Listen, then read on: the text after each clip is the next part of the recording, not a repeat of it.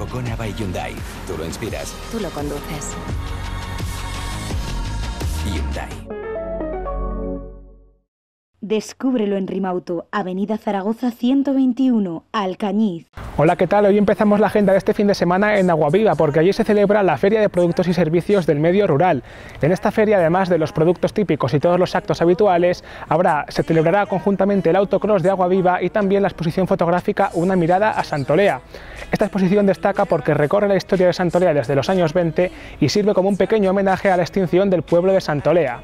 Nos vamos ahora hasta Caspe, donde allí el protagonista será este fin de semana el escritor Ramón J. Sender. El motivo es que la asociación Amigos del Castillo de Compromiso de Caspe eh, ha preparado dos conferencias para este fin de semana. Una será esta tarde a las 8 y la otra mañana a las 6 de la tarde. Así que ya lo saben, si les gusta Ramón J. Sender, acérquense a Caspe para conocer su historia.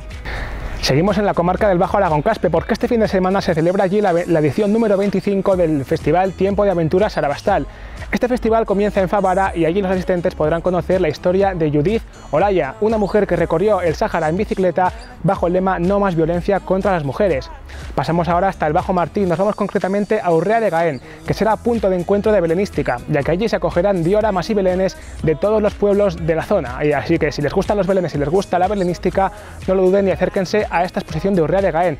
Estará abierta todos los fines de semana a partir de este hasta el 12 de enero. Y terminamos en Alcañiz, donde la Unión Musical Nuestra Señora de los Puellos celebrará Santa Cecilia con un concierto. Estas son las opciones que tienen para este fin de semana. Pasen un feliz fin de semana y disfrútenlo.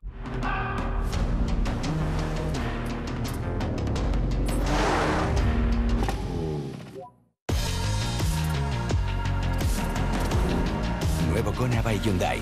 Tú lo inspiras. Tú lo conduces. Hyundai.